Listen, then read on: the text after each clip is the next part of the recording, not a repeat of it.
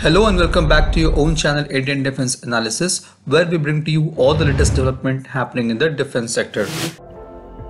Chetak and Cheetah are the lifeline of our armed forces stationed at high altitude region where it is impossible to reach via road.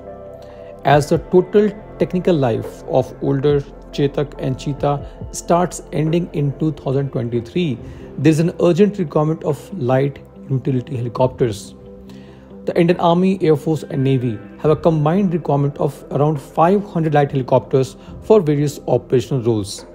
HAL is expecting a combined order from Army and Air Force for 187 light helicopters, which includes 126 for Indian Army and 61 for Air Force.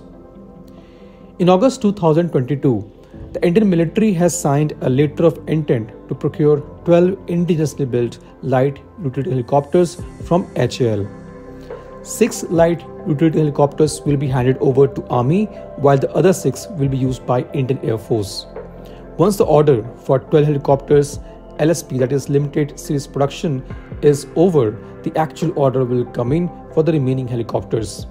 HAL will manufacture 4 LUH under LSP by 2022 to 2023. That is, they're expected to complete the delivery of 4 LUH by March 2023.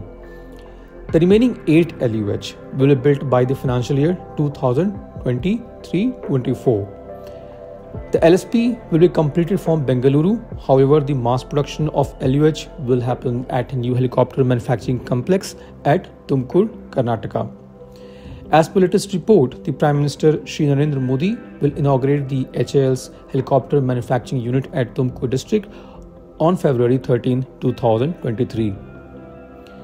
As a part of phase 1 operation at Tumkur plant, the factory has a capacity to build 30 LUH per year and this can be further upgraded to 60 LUH per year. It will have capacity to produce helicopters from 3 ton to 12 ton categories. Talking about LUH, it is a multi-role helicopter in 3-ton category featuring state-of-art technologies such as glass cockpit with multifunctional display. It is powered by a single turboshaft engine Ardiden 1U from Safran Helicopter Engine France with adequate power margins to accomplish high altitude missions in Himalayas with ease. The chopper has a range of 350 kilometers with 500 kilograms of payload and a ferry range of 500 kilometers. It has an impressive service ceiling of 6.5 kilometers. LUH is designed to carry out variety of roles such as reconnaissance, transport, cargo load and rescue operation. The LUH is capable of accommodating a maximum of 2 pilots and 6 passengers, all of which are seated on crash-worthy seats. Externally, it is capable of cargoes of up to 1 ton under slung. The helicopter has already proven its capability at high altitudes of Himalayas during various trials.